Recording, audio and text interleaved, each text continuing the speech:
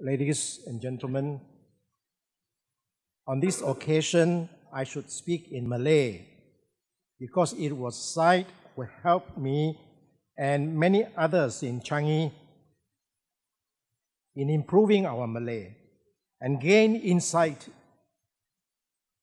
into the true character, the nature, and the concerns and aspirations of the Malay, our Malay brothers and sisters. But due to the constraint of time, please allow me then to speak only in Chinese. And I would like to claim and excuse, if I may, the fact that Syed was also proficient in the Chinese language. Thank you. 各位朋友，今年四月初， 我跟朋友到这个沙阿兰去拜访塞。那一天，他没有像往常一样坐在轮椅上出来见我们。他的女儿说：“这已经是有一个时候是这样了。”我当时心里面沉了一沉。后来进到他的卧房，只见他躺在靠窗口的这个床上。刚刚过去这个中午的这个阳光照射进来，我们都感觉到有一点热。可是他身上的衣着是长衫长裤，可见他的身体这个时候已经是比较虚弱了。在我们去之前，有朋友告诉我们说，他的记忆已经不如以前了。那么我为了要验证这一点，我就进去面对他的时候，我就问他，我说：“Say masih kenalkan saya ke tidak？” 意思就是说，你还认得我吗？他那个时候想了没有几秒钟，他就开了口说：“哎呀，是国芳了。”那么这个时候呢，我们的画家就打开了，大家都笑了起来。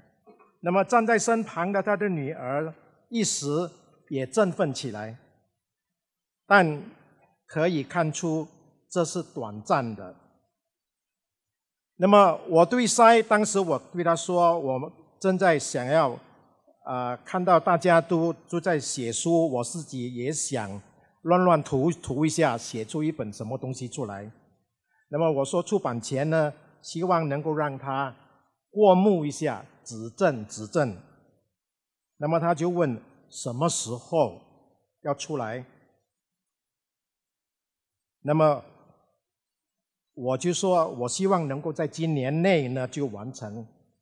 他说快一点好不好？我怎么糊涂到没有想到，他在他的话里面呢，已经蕴含了有意无意的一种更深层的一种意识。那么现在想起来，会不会当时他已经冥冥中知道，他可能在世的时间已经不长了？我真糊涂，当时没有陪他多一点。可是看到他瘦弱的身子。两个眼睛都已经陷下去了，两个面颊也都陷下去的样子，我们真的不忍看着他再继续为了应酬我们而劳累了他的身体，于是我们便匆匆的告辞了。离开他的家之后呢，我急忙的打电话给我们的朋友，告诉他们要抓紧时间。快快去看望在。没有想到今年五月初我在厦门的时候，就接到他永远离开了我们的这个消息，没能给他送上最后一程，成为永远的遗憾。我是在二二冷藏行动中才正式跟赛建立起友谊的。当时我们被关在樟宜的一号，近百人被关在一个不到两个足球场面积大的这个角落里，天天见面，共患难，见真情。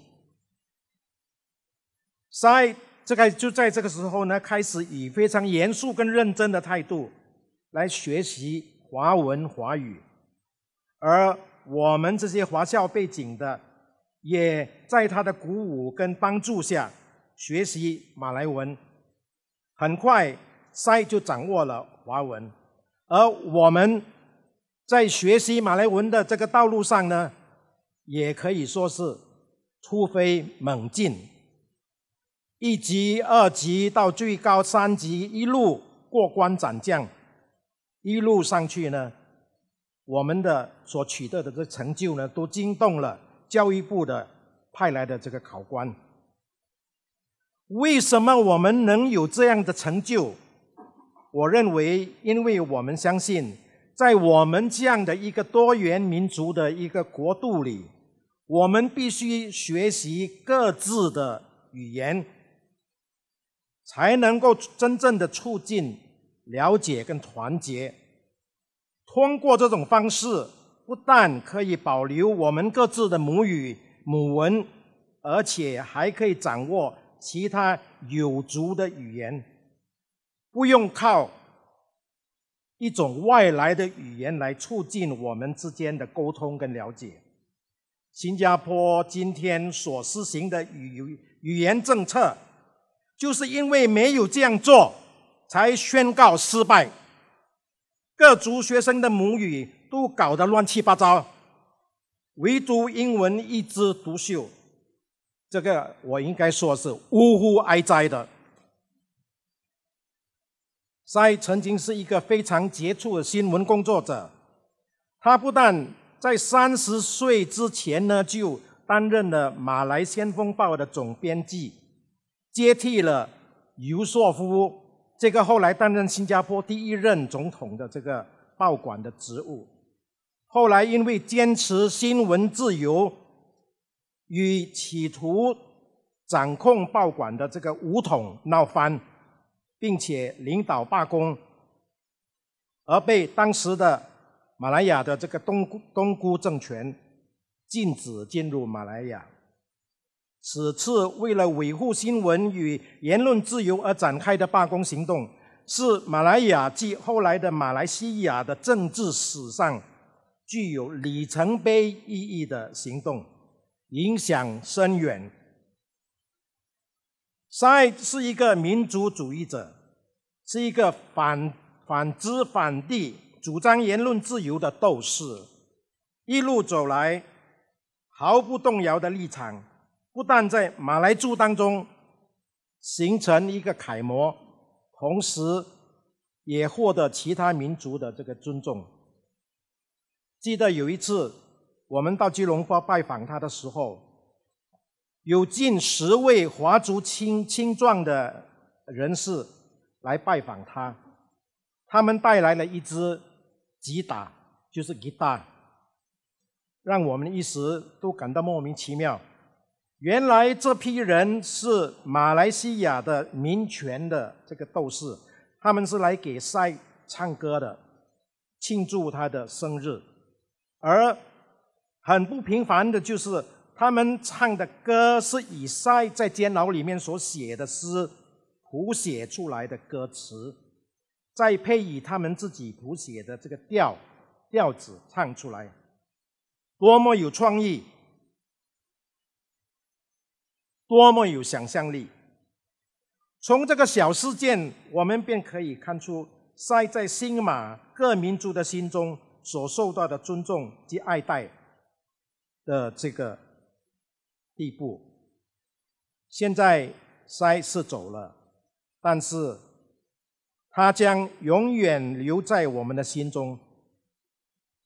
我要说的呢，就是塞安息吧，我们大家都祝你走好，我们的好兄弟，谢谢。